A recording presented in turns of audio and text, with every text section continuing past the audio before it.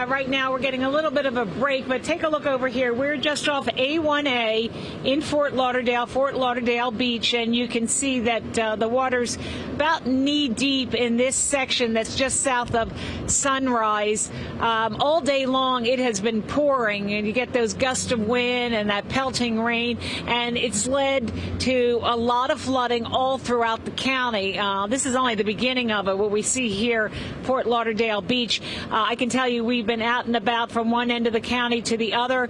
Um, same picture in Lauderhill, Lauderdale Lakes, and in Davie. A lot of concern that the water is actually going to go inside some homes. Now, many residents had gotten sandbags. They had passed out sandbags here in Fort Lauderdale. They also passed out in uh, the western end of the county as well. And let me tell you, it was needed because many of the streets just started filling up like you see here.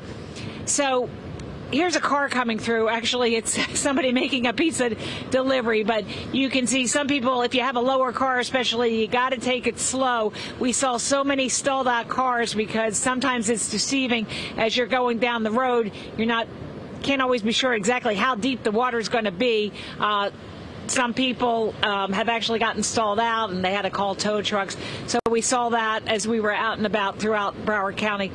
Um, we've been talking about also how dangerous it can be in Lauderhill. There was a situation where a, a, gentleman going back to his apartment off of State Road 7, he thought he was going into his apartment parking lot. Instead, it turned out that he was going into a canal.